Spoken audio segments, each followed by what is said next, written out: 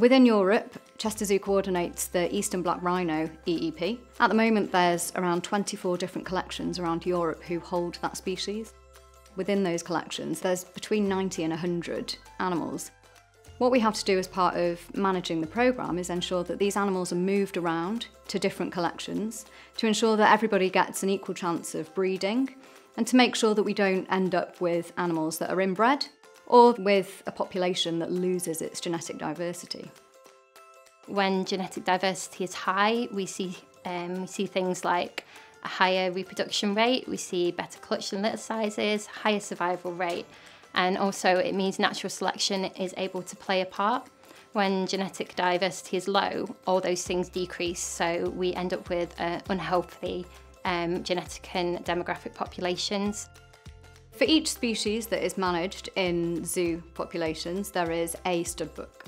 A stud book is basically a collection of records um, of a species in an ex situ population and within that population there will be the animals that are alive today but also all the ancestry.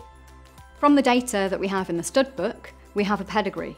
When we have pedigree data, family tree data, for a whole population of, for example, rhinos in Europe, we can work out exactly how related every animal is to each other.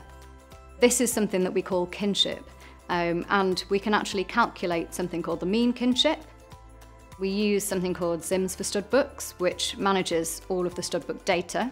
I then export the data out of it to another software called PMX, which I use to analyse the genetic diversity, the inbreeding coefficients. We can work out some averages for how related every single animal is to each other.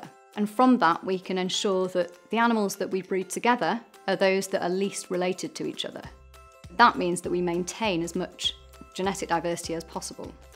So for example, if we, uh, we could look at a rhino, a male rhino in Germany with a female rhino in the UK, we can actually use the software to create a hypothetical offspring.